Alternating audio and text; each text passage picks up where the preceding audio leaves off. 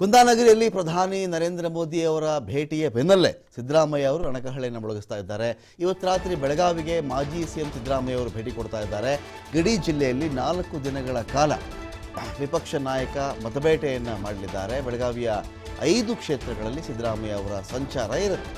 ಒಂದು ನಾಲ್ಕು ದಿನ ಅಲ್ಲೇ ಇರ್ತಾರೆ. ಹಾಗಾಗಿ ಬೆಳಗಾವಿಯಲ್ಲಿ ಕಾರಣ ಬೆಂಗಳೂರು ಬಿಟ್ಟರೆ ಅತಿ ಹೆಚ್ಚಿನ ವಿಧಾನಸಭಾ ಕ್ಷೇತ್ರಗಳನ್ನು ಒಳಗೊಂಡಿರ್ತಕ್ಕಂಥ ಜಿಲ್ಲೆ ಅಂತ ಇದ್ದರೆ ಅದು ಬೆಳಗಾವಿ.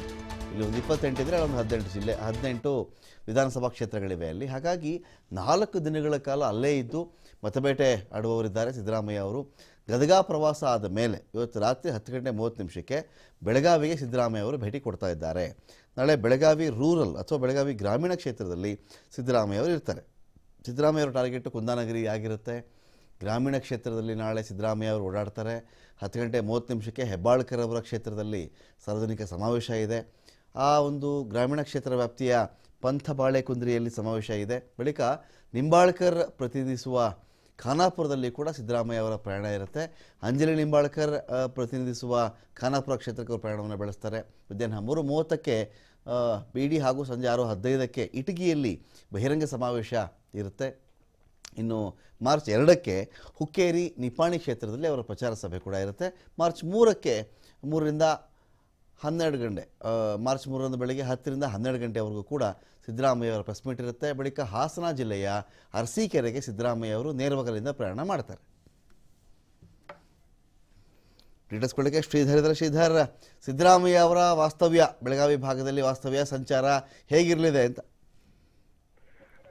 ರಮಾಕಾಂತ್ ಮೋದಿ ರೋಡ್ ಶೋ ಬಳಿಕ ಈಗ ಸಿದ್ದರಾಮಯ್ಯ ಅವರ ಪ್ರವಾಸ ಈಗ ಬೆಳಗಾವಿ ಜಿಲ್ಲೆಯಲ್ಲಿ ಇವತ್ತಿಂದ ಆರಂಭ ಆಗುತ್ತೆ ಅಂತ ಹೇಳ್ಬೋದು. ಸಂಜೆ ಏನು ಸಿದ್ದರಾಮಯ್ಯ ವಾಸ್ತವಕ್ಕೆ ಬೆಳಗಾವಿ ಬರ್ತಾರೆ. ನಾಳೆಯಿಂದ ಸಿದ್ದರಾಮಯ್ಯ ಬೆಳಗಾವಿ ಗ್ರಾಮೀಣ ವಿಧಾನಸಭಾ ಮತಕ್ಷೇತ್ರ, ಅಂದ್ರೆ ಶಾಸಕ ಲಕ್ಷ್ಮೀ ಹೆಬ್ಬಾಳ್ಕರ್ ಪ್ರತಿನಿಧಿಸುವಂತ ಒಂದು ಕ್ಷೇತ್ರದಲ್ಲಿ ಪ್ರಜಾಧ್ವನಿ ಕಾರ್ಯಕ್ರಮ ನಡೆಯುತ್ತೆ. ಜೊತೆಗೆ ಮಧ್ಯಾಹ್ನ ಏನಂದ್ರೆ ಖಾನಾಪುರ ಮತಕ್ಷೇತ್ರ, ಅಂದ್ರೆ ಅಲ್ಲಿ ನಿಂಬಾಳ್ಕರ್ ಇರತಕ್ಕಂಥ ವಿಧಾನಸಭಾ ಮತಕ್ಷೇತ್ರದಲ್ಲಿ ಒಂದು ಪ್ರಜಾಧ್ವನಿ ಒಂದು ಸಮಾವೇಶ ನಡೆಯುತ್ತೆ. ತದನಂತರ ಸಂಜೆ ಇಟ್ಗಿ ಕ್ರಾಸ್ ಅಂದ್ರೆ ಪ್ರಮುಖವಾಗಿ ಕಿತ್ತೂರು ವಿಧಾನಸಭಾ ಮತಕ್ಷೇತ್ರದಲ್ಲಿ ಒಂದು ಪ್ರಜಾಧ್ವನಿ ಕಾರ್ಯಕ್ರಮ ನಡೆಯುತ್ತೆ. ಆದ್ರೆ ಏನು ತದನಂತರ ಎರಡನೇ ತಾರೀಕು ನಿಪ್ಪಾಣಿ ಮತ್ತು ಹುಕ್ಕೇರಿ ಅಲ್ಲಿ ಒಂದು ಒಂದು ಸಮಾವೇಶ ನಡೆಸ್ತಾರೆ. ಹೀಗೆ ಸಿದ್ದರಾಮಯ್ಯನವರು ನಾಲ್ಕು ದಿನಗಳ ಕಾಲ ಏನಂದ್ರೆ ಬೆಳಗಾವಿಯಲ್ಲಿ ವಾಸ್ತವ್ಯ ಇರ್ತಾರೆ ಅಂತ ಹೇಳ್ಬೋದು. ಜೊತೆಗೆ ಬೆಳಗಾವಿಯಿಂದ ಏನಂದ್ರೆ ಐದು ವಿಧಾನಸಭಾ ಮತಕ್ಷೇತ್ರದಲ್ಲಿ ಒಂದು ಮಿಂಚಿನ ಸಂಚಾರ ನಡೆಸ್ತಾರೆ.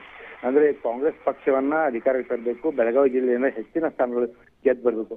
ಪ್ರಮುಖವಾಗಿ ಕಾಂಗ್ರೆಸ್ ಶಾಸಕರು ಇರ್ತಕ್ಕಂಥ ಕ್ಷೇತ್ರಗಳಲ್ಲಿ ಮತ್ತೆ ಒಂದು ಕಾಂಗ್ರೆಸ್ ಕಾರ್ಯಕರ್ತರನ್ನ ಹುರಿದುಂಬಿಸುವಂತ ಕೆಲಸ ಮಾಡಬೇಕು. ಜೊತೆಗೆ ಯಾವ ಕ್ಷೇತ್ರದಲ್ಲಿ ಕಳೆದ ಬಾರಿ ಭಿನ್ನಮತದಿಂದ ಬಂಡಾಯದಿಂದ ಒಂದು ಕ್ಷೇತ್ರವನ್ನು ಕಳೆದುಕೊಂಡಿದ್ದಾರೋ ಅಂತ ಕ್ಷೇತ್ರದಲ್ಲಿ ಪಕ್ಷ ಸಂಘಟನೆ ಜೊತೆಗೆ ಒಂದು ನಾಯಕತ್ವದ ಏನು ಗೊಂದಲ ಇದೋ ಗೊಂದಲ ನಿವಾರಿಸುವಂತ ಕೆಲಸವನ್ನ ಈ ಒಂದು ಪ್ರಜಾಧ್ವನಿಯ ಸಮಾವೇಶದ ಮೂಲಕ ಸಿದ್ದರಾಮಯ್ಯ ಮಾಡ್ತಾ ಇದ್ರು ಅಂತ ಹೇಳ್ಬೋದು.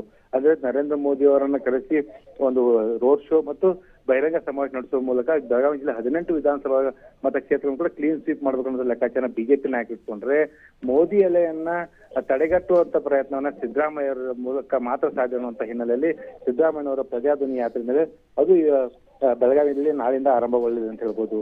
ರಮಾಕಾಂತ್. Thank you Shridhar.